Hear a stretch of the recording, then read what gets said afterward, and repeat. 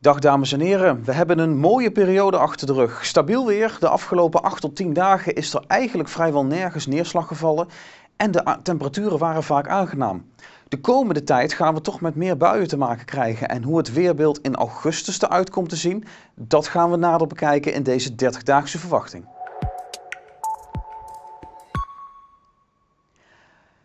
Wisselvalligheid komt er dus aan en dat zien we ook op de kaart achter mij. Dit is een luchtdrukkaart van begin augustus, maar komende week krijgt dit patroon al een beetje vorm boven Europa. We zien veel blauwe kleuren, eigenlijk boven Centraal-Europa, boven onze omgeving en vooral ook ten noorden van ons. Dat duidt op vrij veel lage drukgebieden die vanuit het westen tot noordwesten Europa naderen en vooral ten noorden van ons langs zullen trekken. Maar af en toe krijgen we ook wel zo'n lage drukgebied over onze omgeving heen met de nodige buien en misschien ook wel van tijd tot tijd een stevige wind. Het ziet er niet naar uit dat dat patroon in, op korte termijn uh, gaat wijzigen. Daar komt bij dat de temperaturen dus relatief laag worden voor de tijd van het jaar. Iets wat we de afgelopen tijd dus niet gezien hebben. Het was vaak toch wel aan de warme kant. Temperaturen overdag tussen de 20 en 25 graden. Af en toe zat er eens een dag tussen waarop het wat warmer was. Maar de komende tijd zien we dat de kaarten, de temperatuurkaarten, vooral blauw kleuren. Dit is voor de afwijking voor volgende week. Nou, die temperatuurafwijking is duidelijk naar beneden gericht. Zo'n 1 tot 3 graden onder normaal. Dat betekent dat we overdag met temperaturen te maken hebben zo rond het graad of 20, 22. Uiteraard is dat wel afhankelijk van de hoeveelheid neerslag die op een dag valt. En vooral ook de windrichting. Mocht de wind even naar het zuiden draaien, dan hebben we toch al snel wat hogere temperaturen. Maar het algemene beeld is dus duidelijk te koud. En ook wisselvallig. Wat groene kleuren rondom onze, onze regio, dat betekent dat er iets meer neerslag wordt verwacht dan gemiddeld. En vooral ook richting de Alpen en uh, Noord-Italië, Oost-Europa, daar wordt ook veel neerslag berekend. Want daar ligt de grens met de warme lucht. In die regio zullen dat vooral stevige onweersbuien zijn. Bij ons ook vaak buien, maar dan, toch met lagere temperaturen zullen dat geen hele zware buien meestal worden. Dat zien we ook al op de pluim van dit moment. De warmte van vandaag, van vandaag en de komende dagen is nog duidelijk te zien. Een graad of 25 halen we morgen nog wel, maar dat is voorlopig wel de laatste keer.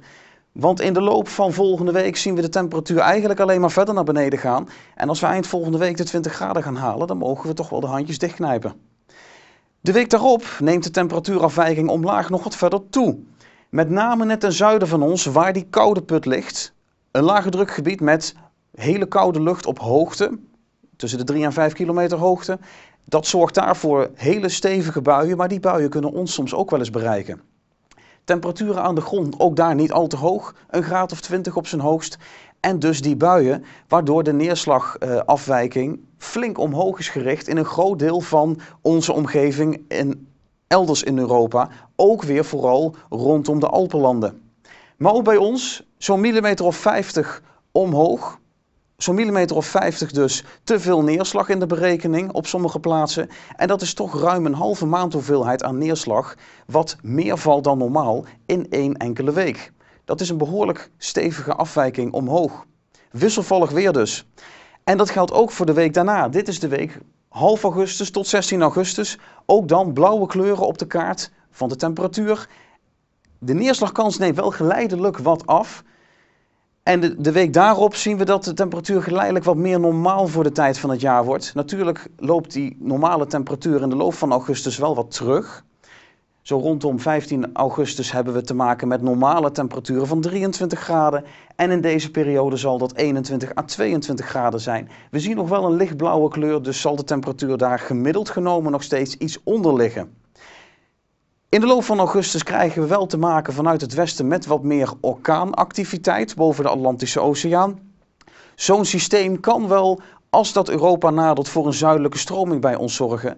Dus deze kaart, met name voor de tweede helft van augustus, is wel relatief onzeker, omdat als je drie dagen echt flink lage temperaturen hebt en drie dagen hele hoge temperaturen, dan zal de afwijking gemiddeld over de hele week ook uitvallen zoals die op deze kaart te zien is. Maar dan kunnen we zeker nog wel een paar hele warme zomerdagen tegemoet zien. Toch is het algemene beeld voor de komende vier weken duidelijk te koud. en dus heel wisselvallig. Echt stabiel zomerweer is ver te zoeken voorlopig. Ik wens u nog een mooie dag.